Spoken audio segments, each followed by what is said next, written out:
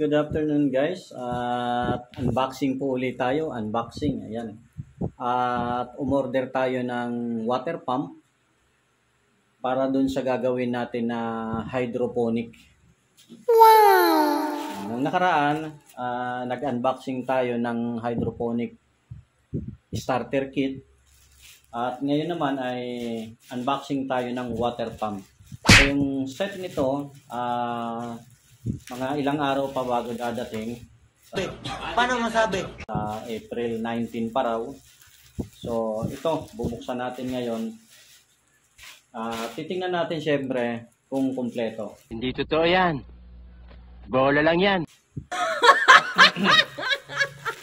Ito ay 40 watts na water pump. Tingnan natin kung Pero sa ano, yung pagkaka-box niya maganda. Ah, walang damage yung box. So, ibig sabihin, kung walang damage yung box, wala ring damage ang loob, natural.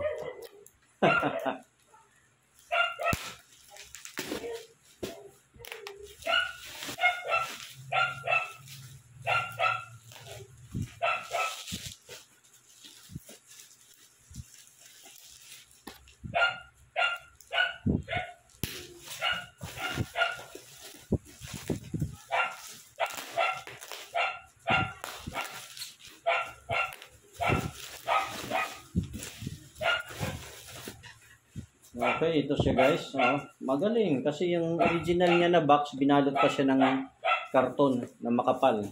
So talagang alagang-alaga yung ating package na ano, na in order. Ah, thank you seller. Thank you very much.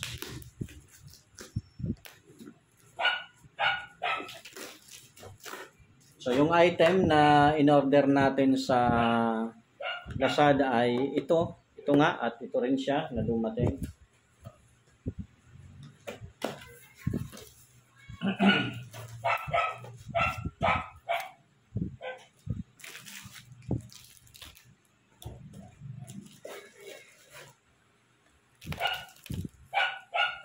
Okay, good. Ang box.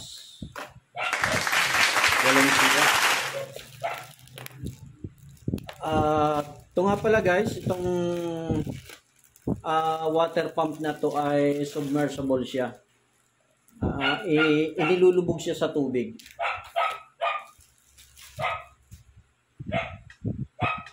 So, tetestingin natin kung umaandar kasi baka hindi umaandar eh. At hindi po natin puputulin ano, yung ating camera. Hindi natin siya ikakap. Dire-diretso ito para makita nyo kung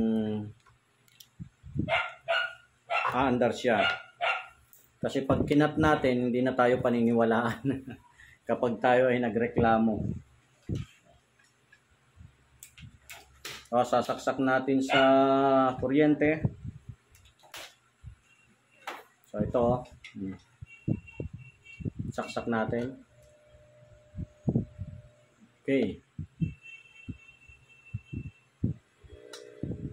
So, yan, umandar siya. Automatic, wala pala siyang switch. Wala siyang switch. Kapag sinaksak siya, automatic aandar ka agad siya. So, tama. Tahimik na tahimik yung andar niya.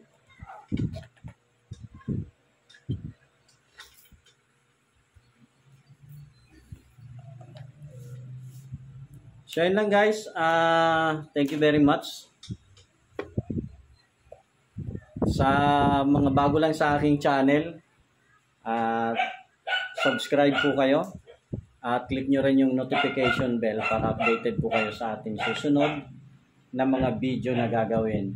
At abangan nyo guys, hindi magtatagal, mag start tayo ng ating hydroponic. Ayan. So yun lang guys. Ganado TV. See you on my next vlog.